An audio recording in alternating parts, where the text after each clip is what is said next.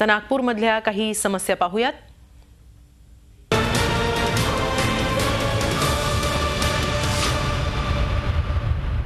नागपूरच्या रामेश्वरी भागातल्या रस्त्यावर प्रचंड खड्डे पडले आहेत या खड्ड्यांमुळे अपघातही वाढलेत आणि वाहतुकीची कोंडीही होतीये.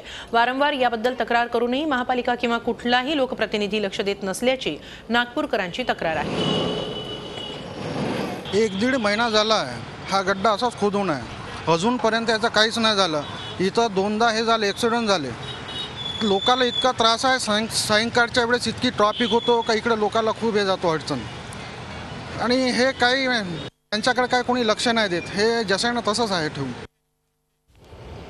नागपूरच्या पार्वतीनगर भागात मोकाट कुत्र्यांचा प्रचंड त्रास होतोय. रस्त्यावरून चालणाऱ्यांवर आणि लहान मुलांवर कुत्रे हल्ला चढवतात महापालिकेची कुत्रे पकडण्याची मोहीम असली तरीही या भागात कधीही कारवाई होत नसल्याची स्थानिकांची तक्रार आहे.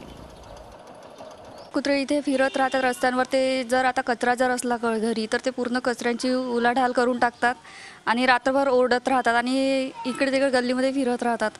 आणि त्यांच्यामुळे डिस्टर्ब होतं आणि लहान मुलं वगैरे राहतात तर त्यांच्या मागे धावतात ते. तर आता अशा कुत्र्यांवर त्यांनी कारवाई करायला पाहिजे नगरपालिकेने. झी चोवीस तास. रहा एक पाऊल पुढे.